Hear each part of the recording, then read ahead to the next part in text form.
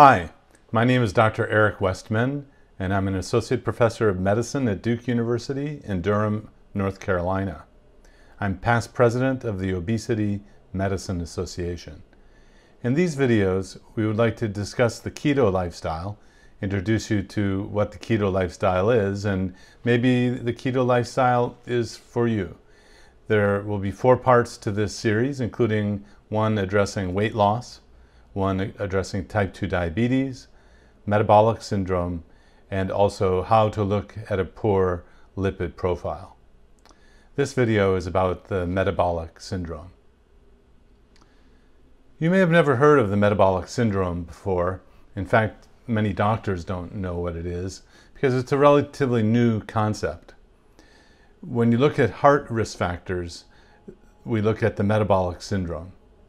The metabolic syndrome is a risk factor that's much stronger than even the traditional looking at a cholesterol level or an LDL level in the blood. And so understanding the metabolic syndrome and the consequences of it is extremely important. The metabolic syndrome is a little confusing because it draws together different things that might not seem related. Uh, when you look at the body itself, metabolic syndrome involves an increased body girth or abdominal girth, so the, a big waistline, in other words. The metabolic syndrome also includes several blood parameters, like a high blood glucose, but not quite to the level of diabetes. It also includes a increase in triglyceride or blood fats, and that's not often regarded as a problem by most doctors, a high triglyceride level.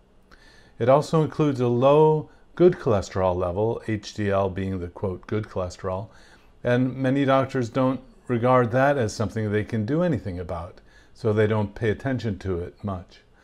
Blood pressure elevation is also part of the metabolic syndrome, and these are the major elements, although different organizations have defined it differently. Now, most doctors understand that blood pressure is a significant problem and will usually treat the blood pressure with medication. Most doctors will look at a blood profile and see the elevated glucose and treat that with medication. Another doctor might look at the blood cholesterol level and want to treat an LDL or total cholesterol with a medication. That's just the way doctors have been taught, basically, to treat each of these independent metabolic syndrome items separately using medication. But that's not the only way to go about treating the metabolic syndrome. You can treat the metabolic syndrome with a keto lifestyle. The keto lifestyle actually treats all of these elements of the metabolic syndrome and is even powerful enough to treat type 2 diabetes, which I talk about in a different video.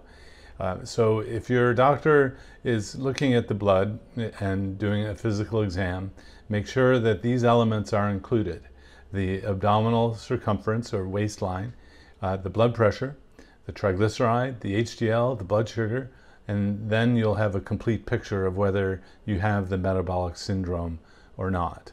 And just three of the five of these elements usually put you into the criteria of having metabolic syndrome.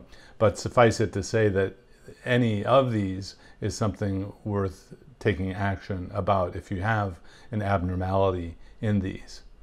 So to wrap up, the metabolic syndrome is a risk factor or the cause of atherosclerosis, heart disease, uh, vascular disease, and it should be treated with either medication, like traditional doctors do, or with lifestyle, especially the keto lifestyle, which is the way that I choose to treat the metabolic syndrome. There are many ways to do a keto lifestyle, and the approach that we use is a very simple one. You eat real foods, meat, fish, poultry, eggs. You eat a little bit of leafy greens and vegetables, keep the carbs under 20 total carbs for the day. The hunger goes away after a day or two, and it's clear sailing from there. So I hope that's helpful to uh, address the metabolic syndrome, how the keto lifestyle can actually fix the metabolic syndrome, and a simple way to get started.